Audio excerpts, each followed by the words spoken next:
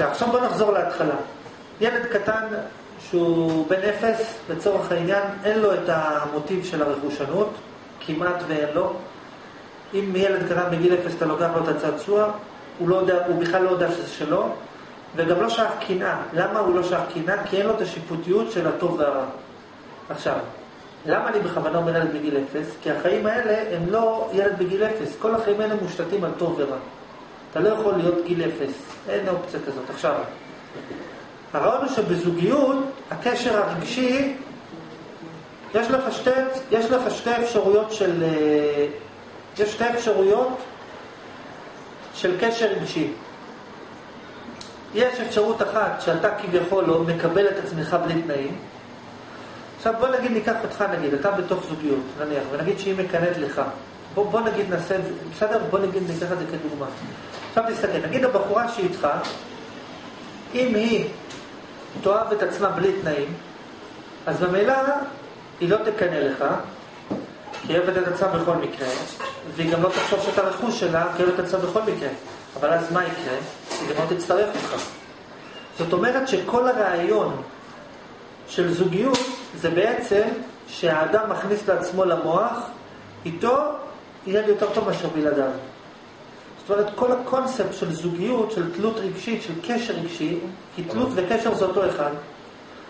תלות וקשר רגשי זה אותו דבר. קשר רגשי ותלות רגשית זה אותו דבר, הכל תלוי בעוצמה. ככל שהעוצמת הקשר הרגשי גדולה יותר, ככה התלות גדולה יותר. זה גם לא חייב באישה עצמה או בצורה עצמה, יכול להיות גם ברעיון שלו שהוא צריך להיות בזוגיות וזה יהיה לו יותר טוב. גם יכול להיות, גם יכול להיות. עכשיו עוד פעם, בעיקרון, אה, קשר רגשי ותלות רגשית זה הולך ביחד, אי אפשר לנתק אותם. ככל שהקשר הרגשי גדול יותר, ככה התלות הרגשית גדולה יותר. ואין מילוט מזה. מה זה תלות רגשית? תלות רגשית פירושו רמת ההשפעה הרגשית שלך מהשינויים שחלים בדבר שאיתו אתה בקשר. זה נקרא תלות רגשית. ככל שאתה קשור יותר למשהו רגשית, ככה הוא משפיע יותר על הרגשות שלך, ואז אתה הופך להיות תלוי רגשית. זה בא, זה במה שנקרא, כן, אבל אי אפשר, אי אפשר. אני אומר, גם אימא שקשורה ברגשית לילדים שלה, אז היא תלויה רגשית בילדים שלה, כי אם הילד יקלל אותה, אז היא תיפגע, ואם היא לא אוהבת אותו, אז היא לא תיפגע, ואם יקרה לו משהו, היא תיפגע. למה? כי היא תלויה רגשית. כי ככל שאתה יותר קשור רגשית, אתה יותר תלוי רגשית. אבל יותר תיפגע. אה? כן, עכשיו רגע, אבל מה אני בא להגיד בזה בעצם? תלות רגשית וקשר רגשי הולך ביחד. מה שזה בעצם, ותלות רגשית יוצרת בעצם את הקנאה ואת הרכושנות. קנאה ורכושנות. ומה שזה בעצם אומר, שאם בין שני בני זוג לא תהיה בכלל קנאה, לצורך העניין, זה בעצם אומר שגם אין ביניהם שום אהבה. אם לא תהיה שום קנאה, אני לא אומר אם לא יריבו בגלל קנאה, הם יכולים לא לריב, אני אומר בעיקרון, אם אתה לא חווה קנאה, בוא נתחיל אה, ורכושנות אפילו, כאילו, תראה, מאוד פשוט, אם אני אשים לך ג'וק, תקנא לו? אתה תחשוב שהוא רכוש שלי? לא, אני הוא לא רוצה אותו, שילך לשכנים, הוא לא רכוש שלי, אני לא מקנא בו בכלל. לא מקנא באף אחד שייקח אותו. זאת אומרת, ככל שאתה יותר חווה דחייה כלפי הדבר, ככל שאתה פחות מעריך את הדבר, ככל שאתה פחות אוהב את הדבר, ככה יש לך פחות קשר אליו, וככה אתה פחות מקנא במי שישיג אותו במקומך, וככה אתה פחות אומר, וככה אתה פחות רוצה להרגיש שהוא רכוש שלך. אבל מה שזה בעצם אומר זה ההפך. ככל שאתה חושב, שאתה, ככל שאתה יותר אוהב את הדבר, אז מחויב שאתה תרצה, שאתה תרצה אה, שהוא יהיה רק שלך. כי אם אתה אוהב אותו ואתה תלוי בו רגשי ואתה מפיק ממנו הנאה, אז אתה מפחד לאבד אותו. עכשיו, אם לא תפחד לאבד אותו, זה אפשרי או שתרגיש רע, או שתגרום לעצמך להרגיש טוב בלעדיו. אבל אם אתה מרגיש טוב בלעדיו, אז אתה כבר לא צריך אותו. מה שאני בעצם בא לומר, שקנאה היא הכרחית, לצורך העניין. עכשיו, בואו אני אקצין לכם משהו. בעיקרון... לצורך כל עניין. כן, לצורך כל עניין יחסי. עכשיו אני רוצה לחדד משהו. קנאה יכולה להיות לא רק שבחורה נגיד מקנאת בזה שאתה מפלרטט עם מישהי, קנאה יכולה להיות בזה, שבח... בזה שבחורה רואה שאתה משקיע יותר מדי בעבודה שלך. ואז אמרנו שהיא מקנאת לך במובן של למה אתה אוהב את העבודה שלך יותר ממני. כאילו גם זה סוג של קנאה, זה לא חייב להיות רק קנאה. למישהו, למה אתה אוהב את הכלב יותר ממני? כן. נכון, נכון, נכון, נכון, נכון, נכון. או עצמו, או הרכב של הבן אדם. נכון, לא, אבל אני בא להגיד לא, בוא נגיד דוגמה לגבי בעלי חיים, אז אתה אומר, אוקיי, אז אה, יותר הגיוני למה זה קנאה, כי זה קשר רגשי, זה יצור חי, אני הוא. אבל אני אומר, קנאה היא לאו דווקא כלפי אה, אדם אחר. יכול להיות שבחורה מקנאת לך במובן של למה הוא משקיע יותר מדי בחברים שלו ולא בי. למה הוא משקיע בעבודה שלו ולא בי. למה הוא משקיע במשהו ולא בי. כן, ברכב ולא בי. עכשיו, עכשיו, אם אני אקצין את זה עוד יותר, אם אני אקצין את זה עוד יותר, כי צריך להבין את הפועל, את השורש, בעיקרון, בזוגיות, הציפייה הבסיסית של כל אחד מבני הזוג זה לקבל שביעות רצון מלאה מהאדם שאיתו באינטראקציה. ברגע שאתה בזוגיות עם מישהי, אתה בעצם מצפה שהיא תמלא את כל רצונותיך. זה באידיאל. אני רוצה שהיא, כל פעם שאני אראה אותה, שאני אשכח שיש לי צרות, שאני מאושר במאה אחוז. זה, באידיאל זה האידיאל. עכשיו, מה זה, עכשיו, עכשיו, יותר מזה, הבן אדם בזוגיות גם רוצה להרגיש שאוהבים אותו. עכשיו, מספיק, נגיד שהוא יהיה בזוגיות עם מישהי, נגיד שהוא בזוגיות עם מישהי, והוא מצחצח את הנעליים שלו, סתם לוקח נעליים ומצחצח. בתת מודע של הבחורה היא מקנאת. למה הוא צחצח את הנעליים ולא השקיע את האנרגיה הזאת בי? במקום שהוא היה מתאמץ לצחצח את הנעליים, היה צריך לעשות איתי פעולה אחרת. אז בעצם כל דבר שהוא לא ההתייחסות אליה, אז זה... נכון, נכון. לא, אני אומר לך בתת מודע. בתת המודע. בתת מודע. בתת מודע. בתת מודע של הבן אדם, בתת מודע של הבן אדם, הוא רוצה להרגיש ייחודי, והוא לא רק שהוא רוצה להרגיש ייחודי, הוא גם רוצה אה, בלעדיות. בעיקרון, בעיקרון בן אדם בכלל רוצה להיות אלוהים, והוא היה רוצה שכולם ישתחוו לו כל היום, והוא לא יכול להשיג את זה, אז הוא מוצא מישהו אחד שהוא רוצה שישתחווה לו כל היום. אם הוא לא משיג את זה בזוגיות, אז הוא מביא ילדים כדי שילדים ישתחוו לו כל היום, ואם לא משתחווים, הוא גורם להם להשתחוות. אבל אז אני לא, לא מקנאה באותו אדם. לא, זה כולם ככה, שאלה בפרופורציה. אבל לא, לא, צריך לעשות עבודה, להשתחרר מהרגשות האלה. אנחנו מדברים על זה עכשיו. נכון. דווקא כשאתה דווקא משתחרר מכל זה, זה דווקא יבוא. אנחנו עכשיו, אנחנו עכשיו זה שיעבוד, זה שיעבוד, זה עבדות. אנחנו עבדים לעצמנו. ממה זה נובע? עכשיו אני רוצה להסביר משהו. בכל פעם שאדם... עכשיו אני אסביר משהו, אפילו אני מקנא אה, לכל אחד מפה. אני אסביר מה הכוונה. אני אסביר איפה אני מתבטא. אני אסביר איפה אני מתבטא. ברגע, יש את העולם המוחלט. קודם כל, יש את העולם האמיתי שעליו אנחנו לא מדברים. עכשיו, יש את העולם המוחלט. בעולם המוחלט שום דבר לא משנה. יש את העולם האמיתי שעליו אנחנו לא מדברים. אבל יש את העולם האמיתי, יש את העולם האמיתי של מה באמת קורה לי פה, שזה לא מדברים עליו. ויש את העולם ה... עכשיו אנחנו, יש עולם שאנחנו כן מדברים עליו, אבל פה אנחנו מדברים על המון דברים. למה לא מדברים על העולם האמיתי? ככה. גם זה. עכשיו, יש את העולם המוחלט, שנייה, יש את העולם המוחלט, אני רוצה להסביר, אני רוצה להסביר משהו, יש את העולם המוחלט, בעולם המוחלט שום דבר לא משנה. בעולם היחסי, בעולם היחסי, ברגע נגיד שאני בא לפה, לצורך העניין, יש לי ציפיות גם מהאנשים. זה, ככה זה עובד, אין, אין מילוט מזה. עכשיו, עוד פעם, זה מינונים, צוער, אבל יש ציפיות. עכשיו, ברגע שיש לי ציפייה, אני אתן דוגמה, אני אתן דוגמה. נגיד שאני בא ומדבר איתך, אז, אז נבנה סוג של קשר. עכשיו, אם אני רואה אותך נגיד משחק בפלאפון, אז אני בעצם, זה מציק לי. למה זה מציק לי? זה גם סוג של רכושנות. למה אני מדבר איתו? הוא רכוש שלי, למה הוא מתעסק בפלאפון? עכשיו, זה גם סוג אפילו של קנאה. למה הוא נותן תשומת לב לפלאפון ולא לי? אה? זה לא סוג של קנאה. לפעמים זה מקומם, אתה יודע, לפעמים אנשים נכנסים לאינטרנט ואין, אין אף אחד, זה, זה, באמת, זה לא קנאה כמו טמטום.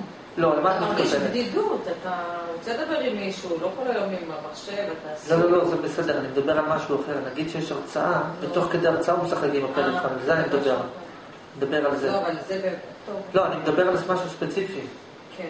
נגיד שתוך כדי הרצאה, הוא משחק עם הפלאפון. כן, כן. אז אני, אני לצורך העניין... מקנא. אני לצורך העניין מקנא. למה מקנא? במובן של למה הוא נותן תשומת לב לפלאפון ולא נותן תשומת לב לי. זה לא של קנאה. אה? זה לא בתת מודע, זה מודע. לא, אבל אני מודע לזה. לא, זה לא, אני גם מודע לדברים האלה. לא, אבל השאלה אם אתה מודע לזה שזה הגדרה של קנאה. זה במובן של למה הוא נותן תשומת לב למישהו אחר ולא לי.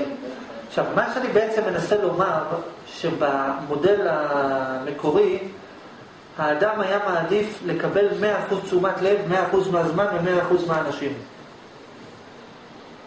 בן אדם בתת מודע שלו היה, היה שמח ש-100% מהזמן, 100% מהדברים שקיימים, ייתנו לו 100% תשומת לב, וכל העולם כולו יהיה דרוך מה הוא רוצה שיקרה.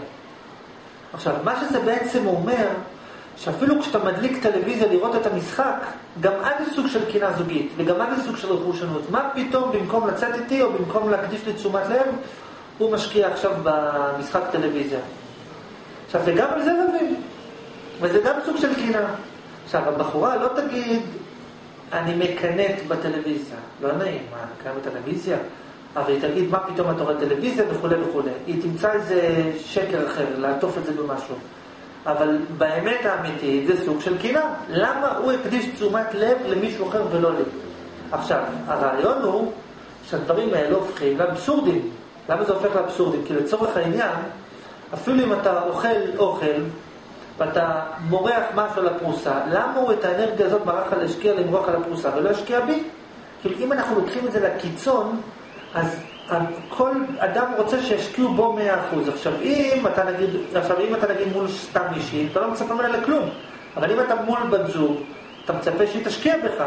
עכשיו אם אתה כבר מצפה שתשקיע במאה אחוז, אז מה פתאום היא... אה, כאילו כל פעולה שהיא עושה לא בשבילך, זה כבר סוג של קינה.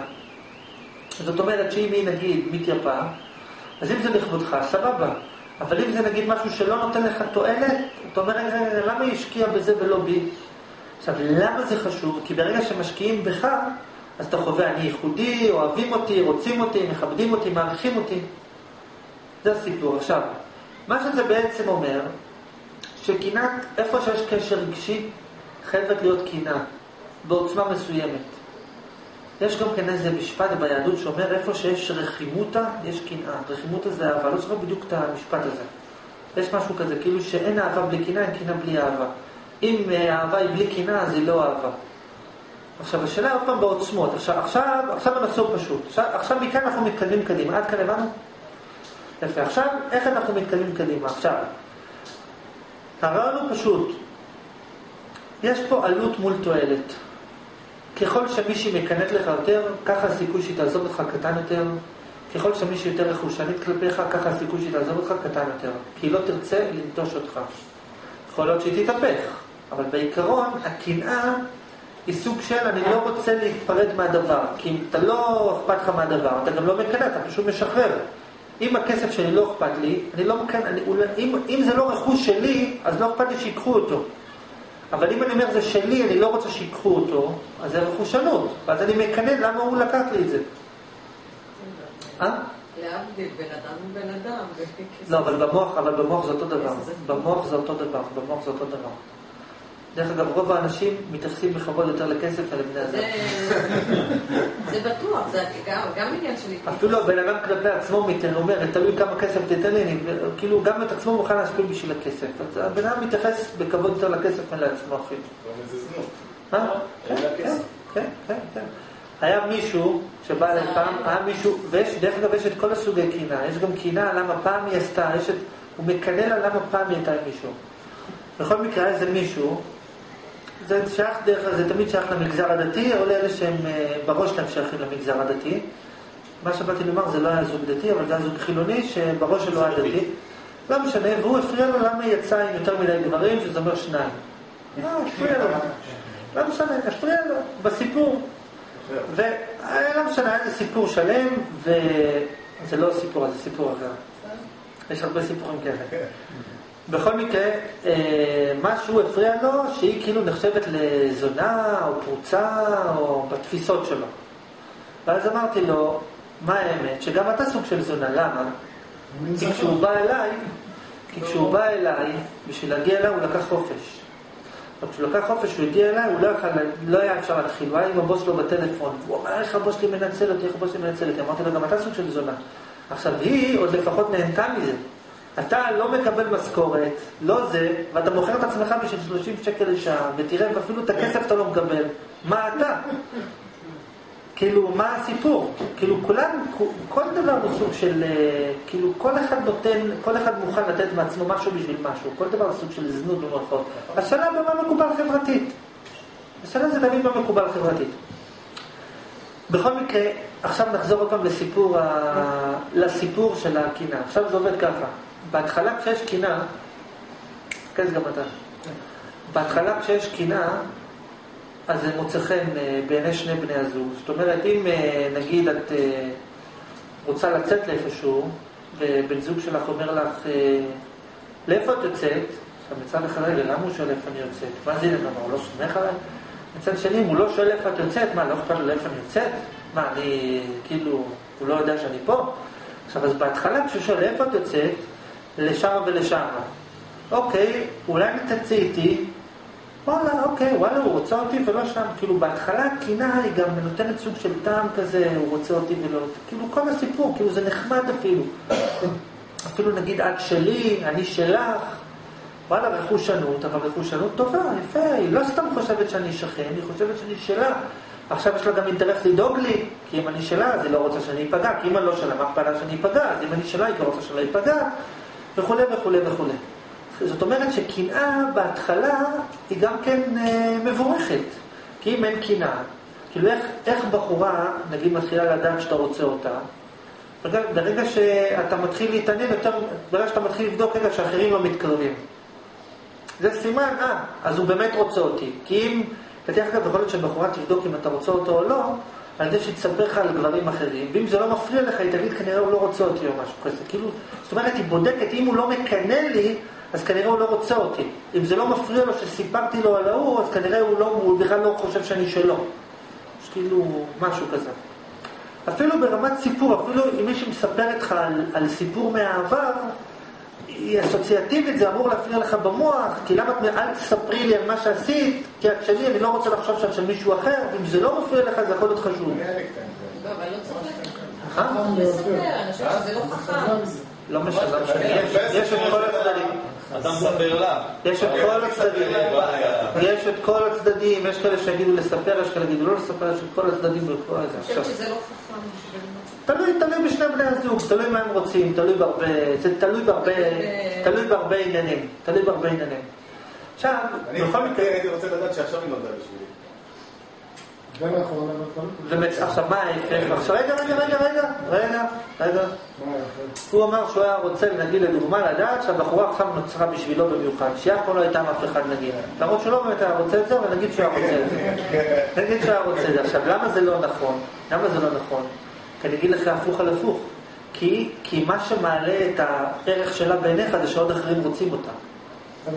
בדיוק בהפוך על הפוך. זאת אומרת, זאת אומרת, זאת אומרת, אם נגיד אתה הולך עם מישהי ברחוב ואף אחד לא מסתכל עליה, אז מצד אחד אתה יכול להגיד, וואלה, היא רכוש שלי, אף אחד לא נוגע, אבל מצד שני, רגע, אולי הם לא רוצים אותה בכלל. אולי זה לא שווה. אולי זה לא שווה. עכשיו, אם אתה הולך עם מישהי ברחוב, וכולם אה, רוצים אותה, אז אתה אומר, אה, זה שלי. אז הערך שלה עולה. זאת אומרת שלך יש אינטרס ש... שיותר ירצו אותה, אדרבה, זאת אומרת, אם היא מספרת לך כמה רצו אותה, אתה גם יכול להגיד, אה, כל כך הרבה רצו אותך, ועכשיו את רוצה רק אותי? אז זה בדיוק הפוך, זאת אומרת, אם היא עכשיו רק עבורה, אם כאילו אף אחד עוד לא רצה אותה, אז כאילו אולי היא שווה פחות. עכשיו, המוח הוא פה עושה מניפולציה, כי מצד אחד אתה רוצה לדעת שאחרים רוצים אותה, מצד שני אתה לא רוצה לדעת שרוצים אותה, שלא ייקחו לך אותה. עכשיו, אם נגיד אתה רוצה עם מישהי מסוימת, אז מצד אחד אם אתה רואה שמתחילים איתה, זה מעצבן אותך.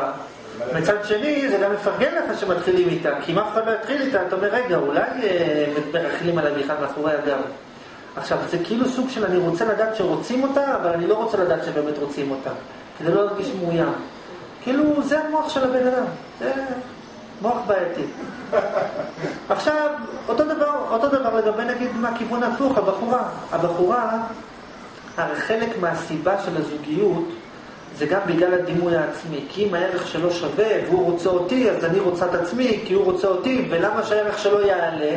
כי היא רוצות אותו. זאת אומרת שמצד אחד באינטרס שלה, לעבור כל בוקר על כולם, נכון שאת רוצה אותו? נכון שאת רוצה אותו? אה, יפה, עכשיו הוא שלי.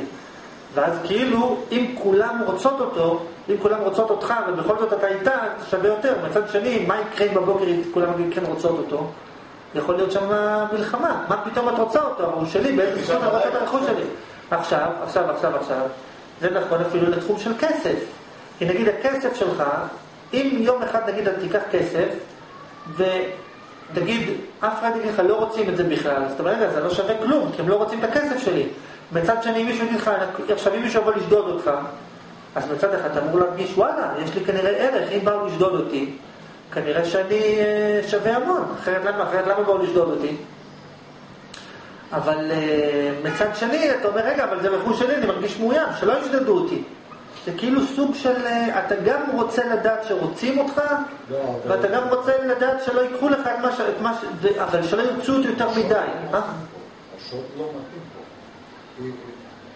הוא- בא לשדוד אותי לא בגלל שלי יש כסף, אלא בגלל שהוא צריך את הכסף ורוצה את הכסף. ואז זה גורם לך ויותר לחשוב. קל לו לבוא ולקחת ממני את הכסף. אם מישהו רוצה ממך- אם מישהו- מאשר ללכת ולעבוד עבור הכסף. לא, למה? הוא עובד בלשדוד אותך, אבל תסתכל משהו פשוט.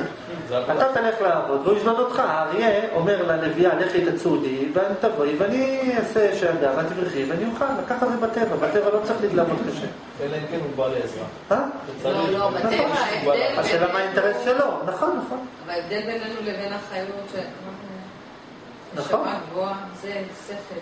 זאת אומרת גם... שלפעמים משמש להיות לרע. חזיר, זה להיות חזיר. אה? זה להיות חזיר. לא, אני לא נגד, אני רק באתי להגיד לו. שזה ככה בטבע עובד. זה לא בטבע, זה בטבע. אתה יודע מה, לפעמים החיות יותר טובים. כשמישהו שודד אותך, או רוצה לשדוד אותך, אפילו בקטע של כסף, כשהוא לא מצליח, אתה אומר, וואלה, אני מעריך את מה שיש לי יותר. יש מישהו אחד לפחות שרצה. זה כמו נגיד לפעמים שלא שודדים אותך. לא את לא מכירה בבדיחות. את לא, אני לא אומר שהיית רוצה, אבל את לא מכירה בבדיחות האלה, שלפעמים הגנב נכנס הביתה ומשאיר לך תרומה. כאילו, כמה מושפל אתה מרגיש, אתה כאילו אומר, תראה איזה מצב, זה אפילו הוא לא רצה לשדוד אותי. זה זה הכל בראש, אני לא מרגישה מושפלת משום דבר. מבינה, זה סוג של מי הומור. שצריך להתבייש, זה, אתה יודע, לפעמים מי שצריך להתבייש באמת הוא לא מתבייש. לא משנה, לא משנה, אני בא להגיד, ככל שיותר אנשים רוצים, לא? ככל שיותר אנשים רוצים את מה שיש לך, זה גורם לך לחשוב שמה שיש לך שווה יותר. לא נכון? רוצה שנבדוק? אני לא, לא יודעת, לא חושבת שיש פה... משקפיים יש לך? נו, את אוהבת אותם? יש משהו שאת הן אוהבת? משמשות אותי. יש משהו בך שאת אוהבת יותר מדברים אחרים? נגיד בקטע חיצוני? כן. מה לדוגמה? מראה נגיד? נגיד מראה. אם עכשיו, למה את אוהבת את המראה שלך? כי, רוב, כי רוצים את המראה שלך. אם היית הולכת ברחוב וכל מי שעובר בדרך נותן יריקה. מרוב גועל. גם היית אוהבת את המראה שלך? לא. כן או לא? אני לא, אני, אני, אני לא, לא, בכלל לא חושבת על דברים לא כאלה, חושבת כי זה, זה לא... בתת מודע את חושבת על זה, לא, אבל בתת מודע אפילו חושבים על לא זה. בתת מודע, אפילו לא. תגידי לי משהו, לפני שאת יוצאת מהבית ואת עומדת ליד המראה, את לא אומרת מה אני יחשבו חייבת עליי? לעצמי, לא, לא. קודם כל, אני שארגיש טוב עם עצמי. ולפי מה מרגיש לך טוב? אם לפי אני מה מרגישה טוב. עם עצמי, לא. קודם כל עם עצמי. קודם בשבילי, אני עושה לא למען אף אחד אחר, אני אגואיסטית. אני מסכים שאני איתך. ארגיש טוב עם עצמי, יש לי זוגיות עם עצמי, ואני בדיאלוג עם עצמי, ואם אני חיה בשלום עם עצמי, אז אני מצפצפת על כולם, ואם יש לי, אני עצמאית, ובכל דבר. אם עכשיו- אם זה. רגשית, אם זה רגשי, ואם זה בכל לא. אם עכשיו חלילה, חלילה, היה. בכלל העולם. נו. אין עולם, אין אף אחד בעולם, רק. כמה זמן נראה שהיית מסתכלת בעולם? לא, כמה לא, זמן היית לא, מתחזקת? לא. לא, לא, לא, רגע, לא, לא, שנייה, היית צודקת משהו אחר, שנייה, אני רוצה להסביר, רגע, דברי איתי, שזה עבור דרך פה. לא, אני לא. רגע, רגע? דרכי, לא דרכו, דרכי. שנייה, אני רוצה להסביר משהו, היית צודקת במשהו אחר.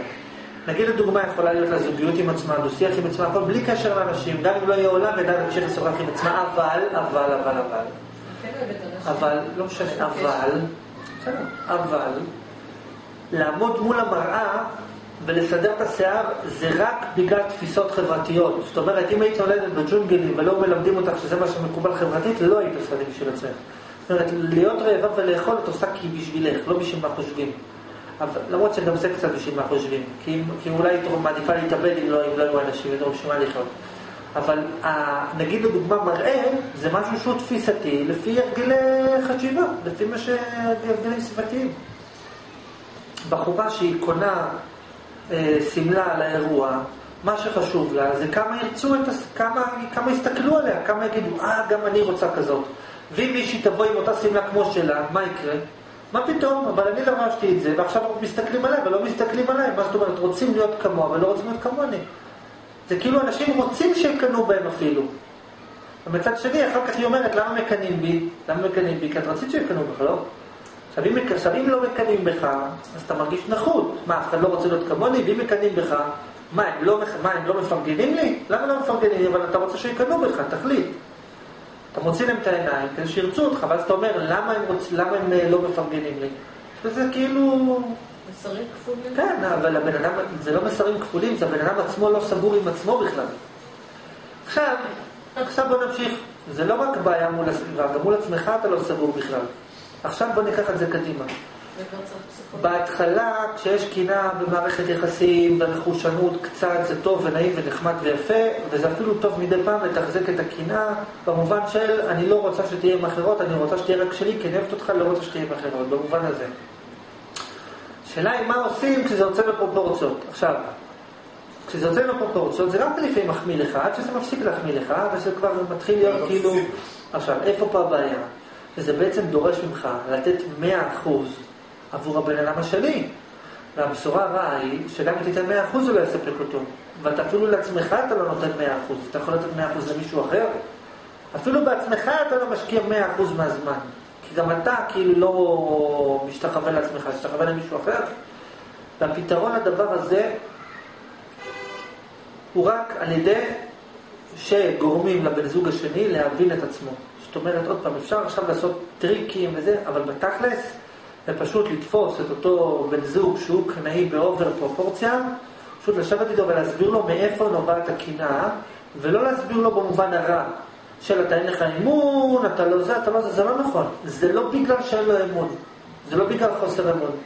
כי ככל שערך הדבר עולה בעיניך, ככה גם אתה לוקח פחות סיכונים. זאת אומרת, גם יש לי אמון, אבל הוא כל כך חשוב לי, שאני אפילו על עצמי לא סומך. זאת אומרת, אני, זאת אומרת, אם יש אפילו אחוז אחד סיכון, זאת אומרת שלפעמים הקנאה היא לא בהכרח נובעת מחוסר אמון, היא פשוט נובעת מהערך של הדבר. זה כמו נגיד שאומרים לך, תסכן את החיים שלך, אומרים לך, מה, הנה יש תעודה שכתוב שזה קשור החבלים, אתה אומר, לא, לא, לא, לא, לא, לא, אני מוכן לוותר, אני... אתה אומר, בשביל האחד חלקי אלף אה, סיכוי שאני אנזק, אני אין לי אמון. זאת אומרת שלפעמים החוסר, הקנאה, היא למרות האמון, בגלל הערך והמשמעות של, של האדם ביחס לשני. אז קודם כל צריך להסביר לאותו בן זוג שיש לו אובר קנאה, להסביר לו את, ה, את הסיבה. עכשיו זה נכון לגבי כל בן אדם שיש לו אובססיה למשהו, כי זה כבר סוג של אובס, אובססיה, תלות רגשית, אובססיה, מחשבות טורדניות, אה, לחצים, חרדה נטישה, כל הסיפורים. עכשיו שזה טוב, אבל במינונים מסוימים. עכשיו מה שצריך לעשות זה פשוט להסביר לאותו, אה, לאותה בת זוג, אותו בן זוג, להסביר לו את ה, מה עובר לו בתת מודע, ולא לבוא אליו במובן של אה, התקפה. של מה פתאום אתה לא נותן אמון, מה פתאום אה, את לא מאמינה לי, למה את חושבת שאני רכוש שלך, זה לא נכון. זה לא חשיבה נכונה, כי אז זה פשוט גורם לדחייה רגשית. כאילו זה כבר נהיה סוג של אה, קונפליקט, מה, הוא לא רוצה שאני אוהב אותו? מה, לא אכפת לו שהוא, מה, הוא רוצה להגיד לי ש... שהוא יכול לעזוב אותי, כאילו, כי זה יכול להיות בהפוך על הפוך. כאילו, כי אם הוא אומר לי למה אני, כי אם אתה נגיד אומר למישהי למה, למה היא מקנאת, אז יכול להגיד, מה זאת אומרת? למה הוא רוצה לעזוב אותי? אם הוא לא רוצה לעזוב אותי, מה אכפת לו שאני מקנא? כאילו זה, כאילו יכול לבצע בכלל פעולה הפוכה, או חוסר הבנה או משהו. עכשיו, שיש בזה בעיה יותר גרועה, שאם אתה לא רוצה שמישהי תקנא לך, המשמעות האמיתית של זה היא שאתה פשוט לא מוכן לתת לה אהבה מעבר למה שאתה נותן לה. וזה בעצם המשמעות של הדבר. זה כאילו, תקשיבי, אני אוהב אותך, אבל לא, מסוגל, לא רוצה יותר. למה? כי אני רוצה לאהוב את עצמי, רוצה עוד דברים וכו'. זה כבר, אבל אני לא תנאי. לא, בסדר. אני אומר, אתה גם לא, זה כאילו להגיד למישהו למה אתה מקנא, או למה אתה חושב שאני